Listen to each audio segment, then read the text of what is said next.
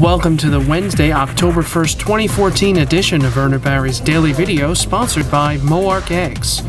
In today's show, the total number of turkeys slaughtered is highlighted.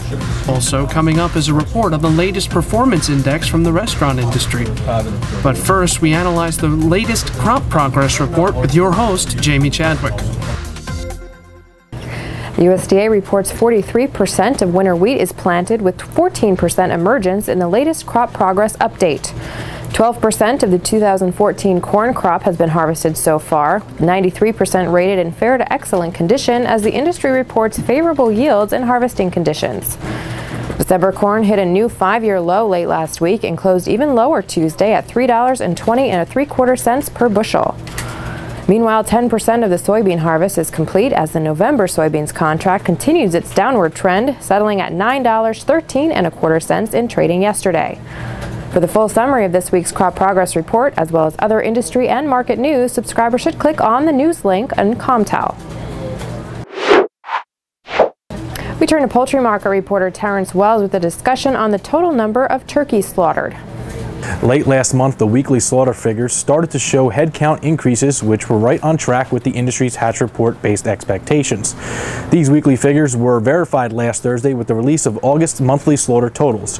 Although reported as being below last year by 1%, August of 2013 contained an additional day of slaughter. That extra day amounts to about 5% of the month's total. So, on an apples to apples basis, the number of head slaughtered during August 2014 was actually above 2013 by about 4%. This figure is much more in keeping with forward projections based on poult placements 20 weeks prior. This also suggests that advances in slaughter greater than 4% are likely to surface in September's and October's data. In the meantime, slaughter is definitely heading up.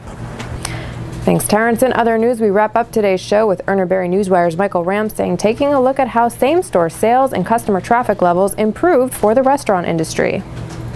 Driven by stronger same-store sales and customer traffic levels and a more optimistic outlook among restaurant operators, the National Restaurant Association's Restaurant Performance Index posted a solid gain in August. The RPI stood at 101.9 for the month, up 1% from July, and its first gain in three months. In addition, the RPI stood above 100 for the 18th consecutive month, which signifies expansion in the index of key industry indicators.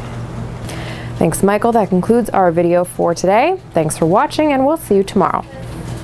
This broadcast is sponsored by Moark Eggs. For more than 50 years, Moark has grown their business with a commitment to adding real value to their products and services, providing old-fashioned customer service that is tested and proven to meet your needs.